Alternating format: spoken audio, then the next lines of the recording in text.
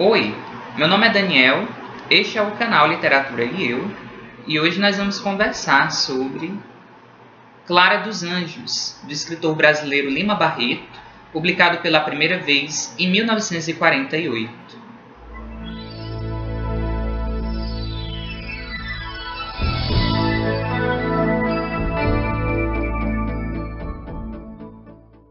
Eu já começo esse vídeo confessando para vocês que eu não gosto muito de Lima Barreto.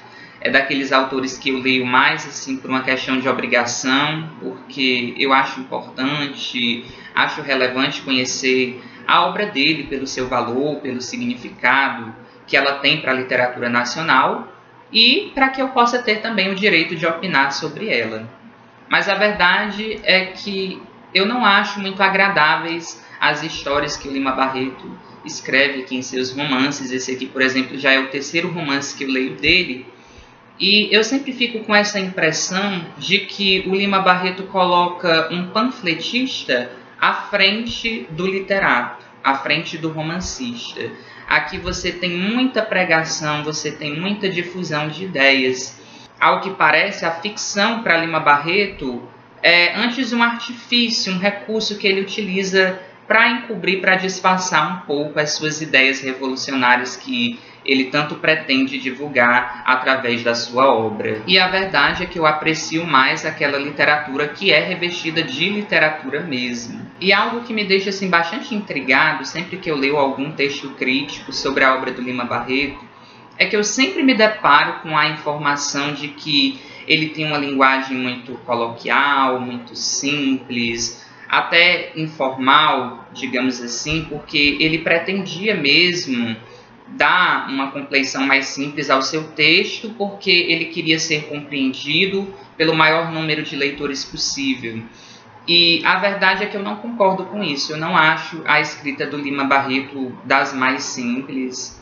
Não que ela tenha assim, uma complexidade como a de um Camilo Castelo Branco, mas aqui eu também não percebo aquela clareza, aquela fluidez de um Machado de Assis. A verdade é que eu acho bem mais simples ler um Machado de Assis, ou mesmo um José de Alencar, do que ler Lima Barreto. Não só por eu achar a escrita dele assim um tanto requintada, pretensiosa, mas porque a narrativa que ele constrói, a forma que ele dá, a história aqui dentro do romance não me agrada, não, não consegue me seduzir tanto. Outra coisa que eu acho bastante errado é porque eu já me deparei várias vezes com a referência de que isso aqui é uma obra inacabada. E eu discordo porque quando você lê esse romance, você percebe que quando você chega no final, realmente tudo está concluído, né? não resta nenhuma lacuna. O texto não exige uma continuação. E também porque você percebe que ao final aqui do texto, o autor colocou local e data, né? A data em que ele começou o manuscrito e a data que ele terminou. Então isso é um sinal de que o texto está completo, né? O que eu penso é que talvez ele não tenha tido tempo de revisar Clara dos Anjos, né? Mas que completo está. Até porque o argumento utilizado aqui nessa obra é o mesmo de um conto que o Lima Barreto já havia publicado é um conto de mesmo nome, Clara dos Anjos, que saiu aqui nessa coletânea de contos, Histórias e Sonhos, que foi o último livro publicado em vida do autor.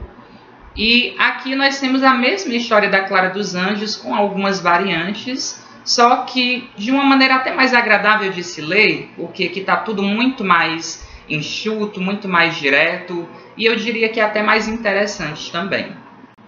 E o final desse conto Clara dos Anjos é o mesmo final do romance Clara dos Anjos. Então é por isso que eu digo que realmente essa obra não é inacabada. Quando você começa a ler essa história, você percebe logo que as primeiras páginas são assim muito atraentes.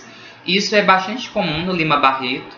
A impressão que dá é que ele quer primeiro fisgar o leitor, para depois passar a mensagem aqui pretendida. E quando o leitor já está ali fisgado, a par de algumas peças da trama, né, conhecendo os personagens principais, é aí que ele começa a fazer a sua panfletagem, né? ele começa a difundir as suas ideias revolucionárias, os seus ressentimentos pessoais, o que é bastante comum, né? pelo menos pelo que eu tenho percebido até agora em todas as obras que eu li dele. E ele usa muito de ironia, ele usa vários recursos para tentar fazer o leitor também se indignar, assim como ele, da condição de miséria em que vivem os suburbanos do Rio de Janeiro. Os mestiços, as pessoas menos favorecidas, aqueles que estão esquecidos do governo, enfim. E uma coisa que me incomodou bastante logo nos primeiros capítulos de Clara dos Anjos é que o autor apresenta-se uma galeria infindável de personagens irrelevantes aqui para a trama. E o interessante é que ele sai caracterizando esses personagens, ainda que essas figuras não tenham um papel importante aqui dentro da narrativa. E ele faz isso tão deliberadamente que me ocorreu a ideia de que essas figuras, na realidade, são retratos de tipos reais. Pessoas que o Lima Barreto conheceu e que ele está ali retratando sob algum nome inventado dentro do seu livro. Inclusive, muitos críticos alegam que um dos personagens que aparece aqui, o poeta Leonardo Flores, é um alter ego do próprio Lima Barreto. E quando eu li as passagens referentes a esse personagem, eu realmente percebi que esse histórico de alcoolismo, de loucura, realmente lembra né, a vida real do Lima Barreto. Assim, os dois primeiros textos desse livro você lê assim muito arrastadamente. Eu sei que isso também pode ser uma questão de gosto pessoal, mas para mim, pelo menos, a leitura foi assim tanto arrastada nos dois primeiros textos. Aí só no último texto aqui, nos finalmente do livro, é que parece que a história ganha vida novamente. Parece que o autor se toca que agora que ele já divulgou, já difundiu as suas ideias aí insurgentes, ele agora já pode deixar de lado esse panfletista e coloca em cena finalmente o romancista, o literato. E aí nós vamos ter de fato a trama principal que o leitor tanto espera, fica aguardando há tanto tempo desde o começo do livro, aqui em Clara dos Anjos.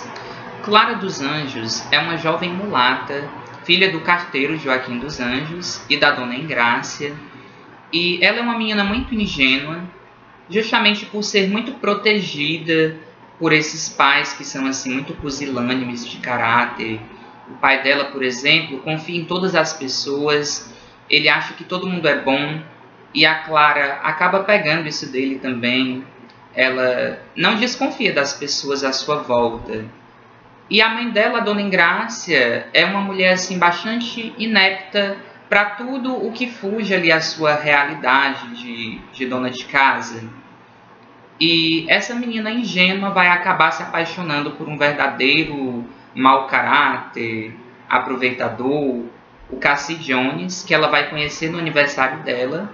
O Cassi chega no aniversário da Clara porque foi convidado por um amigo do pai da Clara porque ele toca modinhas e ele mais seduz as moças com violão do que propriamente canta as modinhas, né? Mas ele vai parar no aniversário da Clara justamente porque o Joaquim dos Anjos é um grande apreciador de modinhas, mas a verdade é que a presença desse indivíduo aqui na festa vai acabar sendo mais prejudicial do que se imaginava. Esse Cassie Jones é um verdadeiro deflorador de moças, um pervertedor de mulheres casadas e todo mundo comenta sobre a má fama que ele possui, sobre o pai dele que o detesta, que não aprova né, a conduta do filho, e sobre a mãe que de certa forma encobre todas as infâmias praticadas pelo Cassim. Mas a Clara, que é muito ingênua, não vai dar crédito a tudo que se comenta em torno do seu amado isso porque ele começa a galantear a Clara desde então e ela recebe os seus galanteios porque ela está apaixonada por ele. Ela acredita que ele é um homem ideal para o casamento. Ela nem sonha que Cassie está simplesmente mal intencionado em relação a ela, ele só quer se aproveitar mesmo do corpo dela para depois abandoná-la assim como ele já havia feito com tantas outras moças. E eu acho muito interessante que o Lima Barreto reflete que o comportamento da Clara, de certa forma, é uma consequência da postura dos pais dela, que não souberam dar uma criação, digamos assim, realista para essa filha. Inclusive, ele vai dizer aqui que as classes mais vulneráveis, elas têm que ser realistas. Elas não podem pensar que ah, todo mundo enxerga todo mundo por igual, porque não é assim. Então, o Lima Barreto ele vai defender aqui que essas classes menos favorecidas elas precisam ser realistas com a sua condição, para que justamente elas possam ter como se defender de tudo aquilo que possa prejudicá-las. Dessa forma, o autor constrói aqui em praticamente todas as páginas do livro um amplo panorama de toda essa vida miserável dos subúrbios do Rio de Janeiro. E é interessante que ele apresenta os suburbanos como vítimas inevitáveis da sua condição social, ainda que sejam pessoas vis, ainda que sejam pessoas honestas, serão sempre vítimas. E a verdade é que Clara dos Anjos não é um livro para encantar o leitor. Isso aqui é um grito de indignação, é mesmo um desabafo pessoal do autor, e isso fica muito perceptível desde da dedicatória do livro, que vai para a mãe do autor, até a última frase, né? a frase que choca, que é assim um tapa na cara da sociedade mesmo. E eu não quero aqui criticar a postura do autor nesse ato de zelar pelos interesses da sua classe. Mas é bem verdade que eu ainda prefiro aquela literatura que respeita os seus limites enquanto obra de arte. Não que esse livro seja totalmente desprovido de teor literário, não é isso. Inclusive aqui tem uma cena muito bonita, muito poética, em que a Clara dos Anjos ela começa a pensar sobre a sua condição, sobre tudo que ela está passando, e ela se debruça na janela do quarto e começa a olhar para o céu e ela vê. Não, não vou dizer até porque é uma das passagens mais poéticas, mais interessantes desse livro, e são poucas as passagens que têm esse forte teor literário aqui, então eu não vou estragar a experiência de ninguém.